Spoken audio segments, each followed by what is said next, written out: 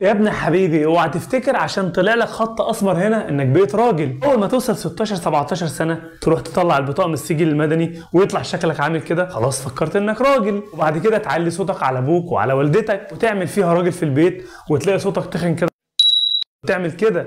لا انت لسه ما بقتش راجل لأن انت لسه بتاخد مصروفك من أبوك. لسه انت مسؤول من أبوك. لكن انت هتعمل فيها السبع رجالة وتقعد تجعر لهم في البيت وتزعق لهم في البيت وفاكر نفسك بقيت راجل. خلاص ومحدش في عينك. لا. تعالى بقى أقول لك انت شفت أبوك وأمك ربوك إزاي؟ شفت تعبوا عليك إزاي؟ شفت شافوا الويل إزاي علشان يطلعوك راجل؟ وشنبك يطلع ويترسم كده؟ كل ده ما جاش مرة واحدة كده. يعني انت ما نزلتش من بطن أمك قمت الصبح لقيت شنبك خط ولقيت صوتك تخن. لا ده انت عييت واتبهدلت وجالك إسهال وجالك إمساك وجالك مغص وبطنك عملت كده وي وي وي وعملت زغوله وأبوك وأمك طلعوا يجروا بيك على المستشفى 80 ألف مرة لحد ما كبرت وبقيت كبير كده. فأنت هتفكر إنك كبرت وخلاص محدش في عينك وإنك بقيت راجل وتجيب لي شعرك لورا وتحلق لي بطريقة غريبة كده وطريقة عجيبة تطلع تعكس البنات. إنك كده راجل؟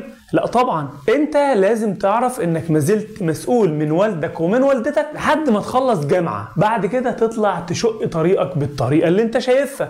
لكن انت هتبدأ تدلع عليهم تنطط عليهم تبدأ تزاولهم وتضايقهم وتحلق الحلقات الغريبة وتفضل الليل تكلم بنات في التليفون. لا الكلام ده ما ينفعش. لازم تعرف مسؤولياتك ولازم تعرف إنك عليك مسؤوليات وواجبات تجاه بيتك تجاه والدك ووالدتك واخواتك لأن دي البيئة الصغيرة اللي حضرتك نشأت فيها.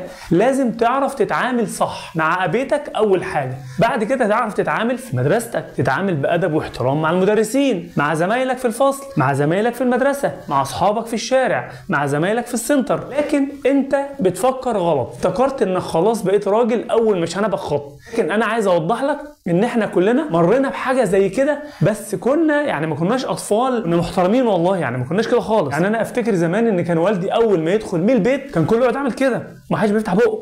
نقعد ناكل على الطبلية. ما كانش في سفرة زمان. كنا نقعد عاملين كده. ما نبدأش أكل غير لما والدي يبدأ أكل. معنى كده إن هو ده إذلال أو أو ده تحكم. لا لا لا بالعكس ده أدب واحترام. دلوقتي أنت بتدخل من بيتك تلاقي ابنك راقد ممدد رجليه كده في وشك وما بيتعدلش وما بيحترمكش. فإحنا عايزين نغير ثقافة مش هقول الشباب لأنهم لسه ما بقوش شباب الصبية في المرحلة دي.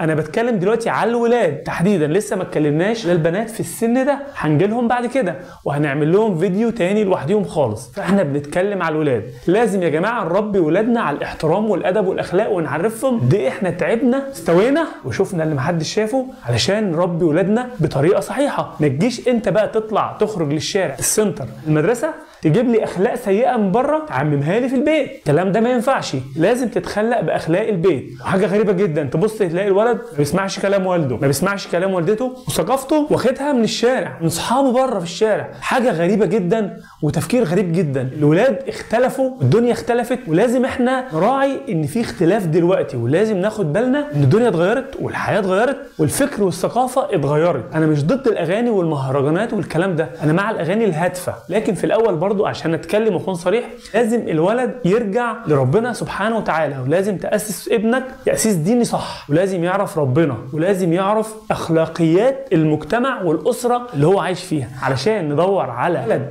يخرج للمجتمع وينفع بلده وينفع نفسه في المقام الأول لازم نراعي كل الظروف دي ولازم ناخد بالنا من تطور الفكر عند ولادنا وإن ولادنا ما بقوش زينا زمان. الدنيا اختلفت والحياة بقت مختلفة خالص كليا وجذريا. فأنا بقول لحضرتك لازم أنا آخد بالي من ابني. وأنت وأنت وأنت وأنت كل الناس تاخد بالها من ابنها في المرحلة الخطر. كلنا كنا صبية فتية شباب. فكنا ما كناش كده. لكن اللي بيحصل دلوقتي إحنا في مطحنة وفي سباق مع الزمن علشان أبدأ أخلي ابني يرجع لأخلاقنا زمان أخلاقنا أخلاق الحارة أخلاق الريف. لكن بالمنظر اللي إحنا فيه ده إحنا بنعاني. يعني أولياء الأمور بيعانوا. المدرسين في المدارس بيعانوا. في المواصلات الناس بتعاني. يعني تبص تلاقي الولد حتى راكب المواصلة بس تلاقي صوته كده وعايز يبين راجل نفسه راجل في المواصلة اللي هو راكبها. ده مش كويس. يعني أنا ضد إن أي ولد يتجاوز ضد إن الأب يتغاضى أو ينسى أو ما ياخدش باله وما يركزش مع ابنه في السن ده. سن 15 16 17 18 لحد 22 23 سنة. لازم تاخد بالك من ابنك في الفترة دي ولازم تسيطر على تصرفاته ولازم تكون ملم بكل حاجة هو بيعملها. لأن هتيجي فترة أنت ممكن تندم على إنك لم تكن على قدر أو على دراية بما يفعله ابنك وممكن يجيب لك مشاكل. ده مش هيجيب لك مشاكل ده هيجيب لك أحلى مشاكل. ده ممكن يجيب لك كل يوم مشكلتين ثلاثة فإحنا لازم يا جماعة نصيحة مني. لازم تاخد بالك من ابنك. الولاد في السن ده خطر جدا جدا ومش عايزك تزهق مني عايزك تركز معايا. لأن انت ما بتشوفش ابنك في الشارع ما بتشوفش ابنك في المدرسة ما بتشوفش ابنك في السنتر ما بتشوفش ابنك وهو بعيد عنك. وانت في شغلك وانت نايم فلازم انت تكون ملم. الأمهات كمان لازم يوصلوا كل حاجة للأب علشان يعرف يكون شخصية ابنه عاملة إزاي. يعني يكون وجهة نظر أو يكون نموذج ابنه وشخصيته عاملة إزاي عشان يعرف يتعامل. وبعدين صاحب ابنك وقرب من ابنك وحاول اديله عصارة تربيتك انت شخصيا. أيام زمان أيام الريف المصري أيام الحارة ما كنت بتبقى واقف راجل في الحارة تدافع عن البنت جارتك ما تضايقهاش ما تعكسهاش تحرجهاش ما تعملش مشكلة لوالدك ووالدتك. اتمنى الفيديو ده يوصل للاولياء الأمور ويوصل للشباب اللي هم زي ما قلت لك من سن 15 16 لحد 22 سنة سن خطر جدا وسن صعب جدا. لازم لازم لازم كل أسرة مصرية تسيطر على أولادها في السن ده وتفهمهم وتعرفهم الصح من الغلط.